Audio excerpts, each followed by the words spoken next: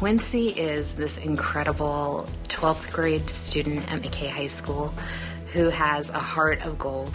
What it means to beat the odds is that you accomplish something that others may have folded under pressure. McKay's a hard school, and we live in the poorest part of the Salem Keizer community. There are gangs, there is poverty, there is violence. Most kids don't make it who are faced with the same challenges Quincy is every single day. I have struggled throughout my whole life, being poor, uh, lived in my car, lived in the hotel.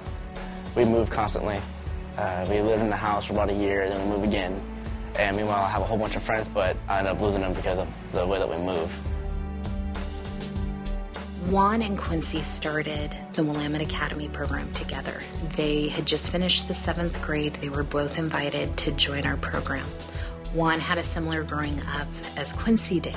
They bonded and became really good friends. He started getting involved with a lot of the gang violence. Not before I heard about somebody named Juan being stabbed at the varsity football game, and I didn't actually realize that it was him until uh, the next morning. The first emotion that hit me was was I don't know, I was like heartbroken. I never had somebody pass away like that on me before.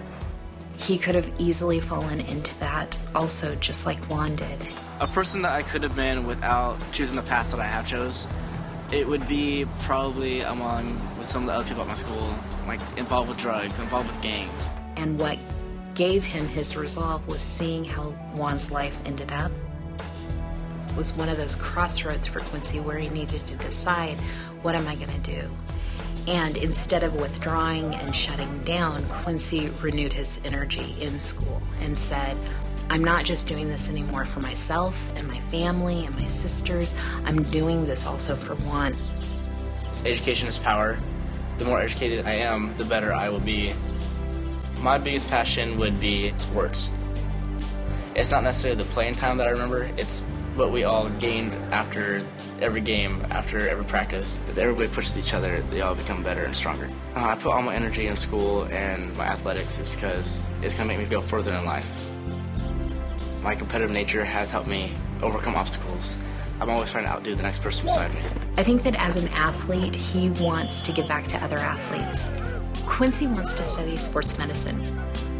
He gives back to homeless families by cooking in um, homeless kitchens and mentoring younger kids. I like having a part of someone's life and having an impact like that.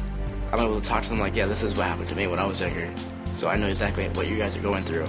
Quincy beat the odds because he has a good heart and he has purpose. The most important thing in life is to show my family that there is someone successful in our family. Quincy loves his family.